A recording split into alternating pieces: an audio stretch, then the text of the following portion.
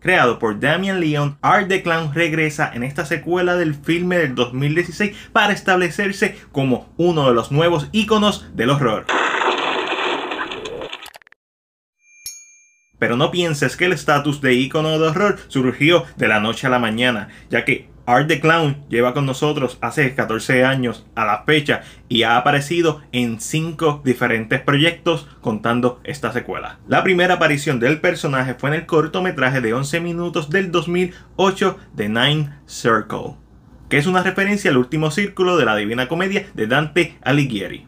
Este cortometraje dirigido y escrito por Leon que luego fue reeditado para formar parte de la antología del 2013 All Hallows Eve, también de Leon, trata sobre una mujer, el personaje no tiene nombre, que espera un lugar que claramente no es una estación de tren durante la noche de Halloween. Art the Clown en esta primera ocasión es interpretado por Mike Yanelli, quien volvería a ponerse en los zapatos del personaje en el cortometraje del 2011 Terrifier y en las escenas adicionales que grabaron para el personaje en All Hallows Eve el villano comienza a molestar a nuestra protagonista hasta eventualmente secuestrarla. Cuando esta despierta se encuentra con otras mujeres secuestradas y en su intento por escapar vemos otros demonios, incluyendo a uno que podría ser el primo de Michael Rocker en Slither. Y también vemos a Satanás, quien la quiere utilizar para...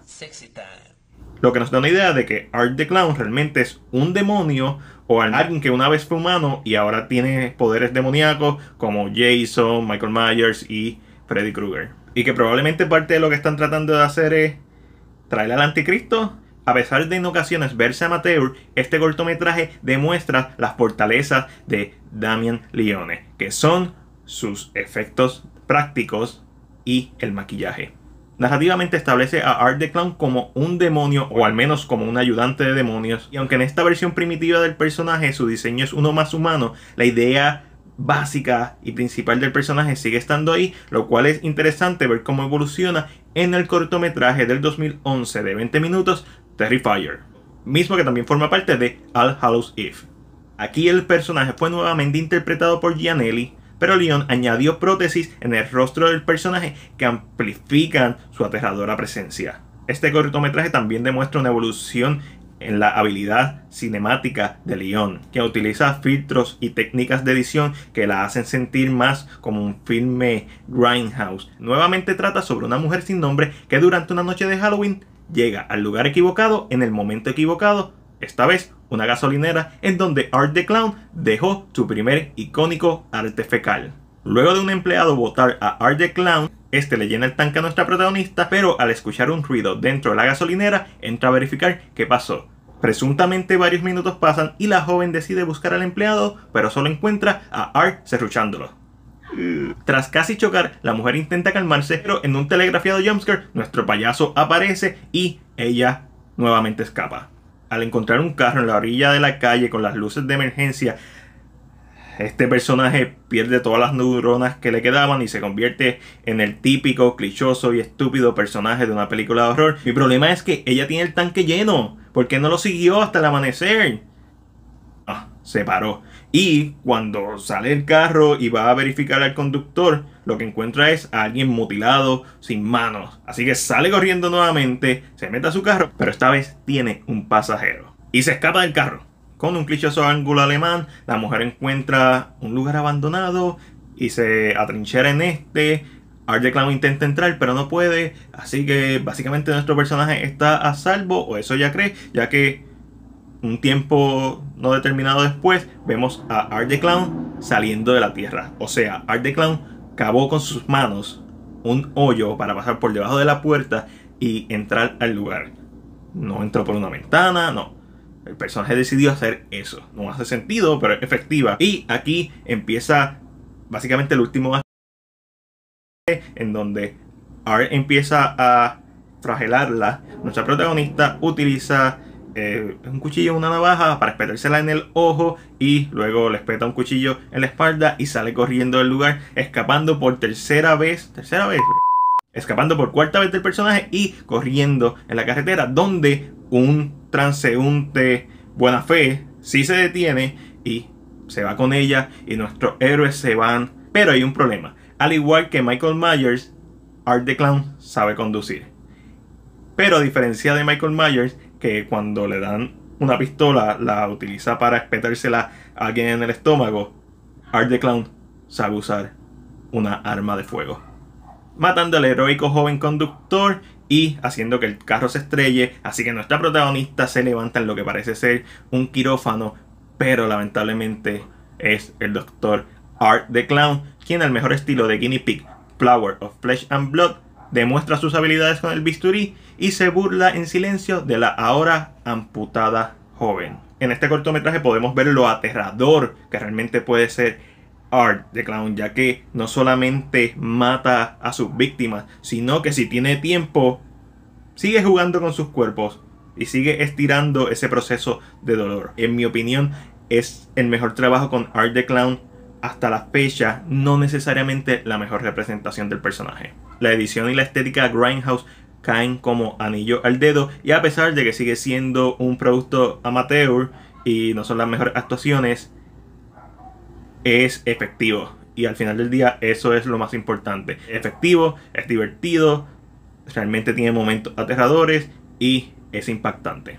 La tercera aparición de Art es en su debut en nada All Hallows Eve, donde la niñera Sara, interpretada por Katy Maguire durante una noche de Halloween, de Yabu, encuentra un videotape con tres cortometrajes, el primero siendo The Ninth Circle, el segundo siendo uno sobre un alien bailarín que al final sale Art the Clown en un arte hecho por el esposo de la protagonista. Y el tercero siendo el ya mencionado Terrifier. Pero cuando Sara termina de ver los videos, Art the Clown a los Sadako intenta entrar a la realidad. Y cuando este está a punto de tocarla, Sara logra sacar el videotape y destruirlo. Pero como en The Ring, esto no significa absolutamente nada, ya que termina escuchando el grito de los niños que está cuidando y cuando sube la escalera se encuentra de frente con Art the Clown, quien se burla de ella ensangrentado. Eventualmente este desaparece y este cortometraje antológico termina con Sara abriendo la puerta y descubriendo las cabezas de los niños en la cama. All Hallows Eve. Es literalmente una excusa de Leone para mostrar sus dos previos cortometrajes y unirlos con este cortometraje raro de un alien y esta escena final de la niñera que quizá en conjunto no son tan buenos fuera de la calidad de Terrifier que es excelente en mi opinión pero que son elevados al tener este lazo con Art the Clown en todos ellos y cogen un valor no tanto por lo presentado, sino por tener una adquisición en donde puedes ver estos cuatro cortometrajes en un solo producto. Y es tener esa accesibilidad lo que hace a Al Hall of Eve una pieza que todo fanático de Art the Clown debería tener. No necesariamente una pieza de calidad o no necesariamente una antología que funciona su cuarta aparición es en el largometraje del 2016 Terrifier, en donde es interpretado por primera vez por David Howard Thornton, quien en su audición este utilizó su experiencia como mimo para elevar al personaje, dándole una personalidad que es un tanto aterradora como incómodamente graciosa. Esto creando un balance perfecto entre los asesinos silentes como Michael Myers y Jason Voorhees y los que tienen más personalidad como Freddy Krueger, Chucky o Ghostface. Terrifier tiene muchos de los elementos del cortometraje del 2011, pero estirados por una hora y 25 minutos. Una hora y 25 minutos que a veces se siente innecesariamente lenta y latosa.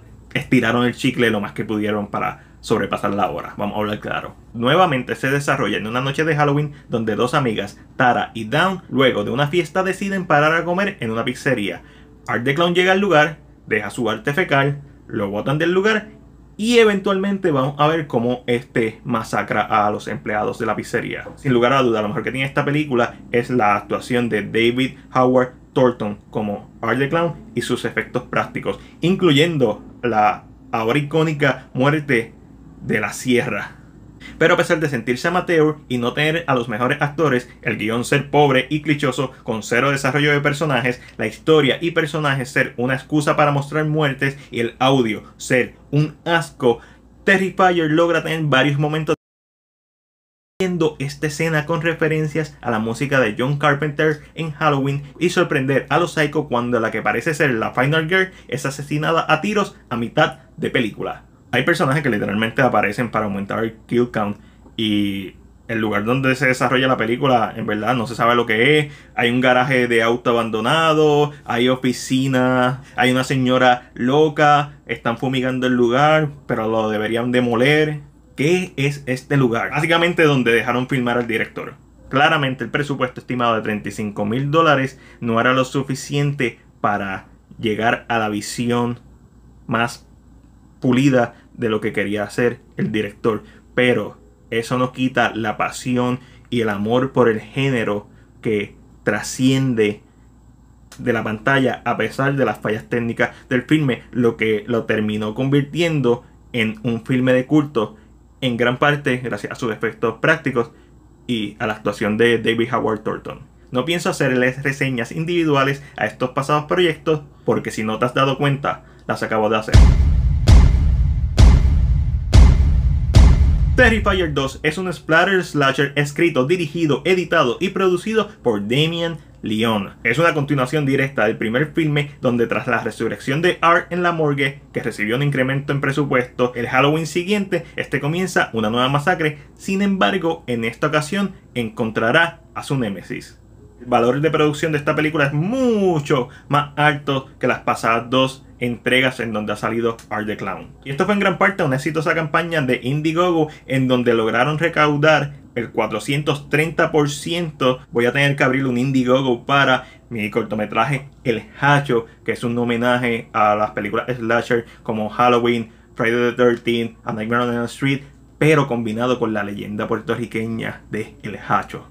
Esta película técnicamente supera a su predecesora en todos los aspectos mejor guion, mejor elenco, incluyendo cambios de Felisa Rose de Sleepaway Camp y la superestrella de la lucha libre, el mejor en lo que hace, Chris Jericho. Muchísimo mejor audio, un excelente filtro puesto en postproducción que le da el estilo retro sin perder la calidad de la imagen o sentirse cliché y también que le da una personalidad diferente a los pasados proyectos. En otras palabras, si Terrifier 2016 es una película amateur de bajo presupuesto, hecho por amigos y colegas, esta secuela se siente como una producción profesional hecha por amigos y colegas. Mi problema sigue siendo el ritmo narrativo, que al igual que en el primer filme, extiende su bienvenida. La película estira a la mayor capacidad todas las escenas para aumentar la duración y el filme termina durando innecesariamente más de dos horas. De lo cual la primera hora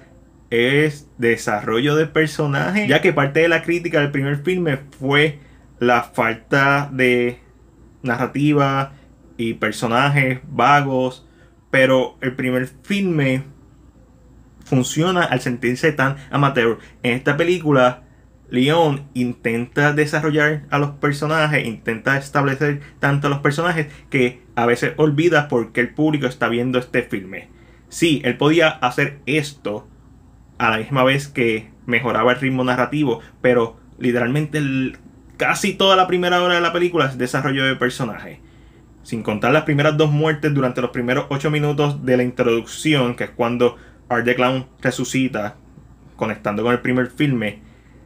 Básicamente pasan 52 minutos en donde no pasa mucho. O sea, y conocemos a nuestros protagonistas que son Siena, una adolescente que es cosplayer y a su hermano menor Jonathan que es un posible futuro asesino en serie. Ambos comienzan a tener diferentes encuentros con Art the Clown y la pequeña niña pálida, que es básicamente la Harley Quinn de Clown y este personaje que solamente Art y Sienna y Jonathan ven por algún tipo de razón que no explicaron en esta película, pero asumimos que hay una conexión entre ellos. Vemos un sueño que probablemente representa una de las escenas más costosas de esta película, que es una masacre dentro del sueño de Siena. También vemos que la mamá está a punto de tener un colapso nervioso y que las cosas que le están pasando a sus hijos pues no ayudan a esto. Vemos la dinámica en la escuela, sus profesores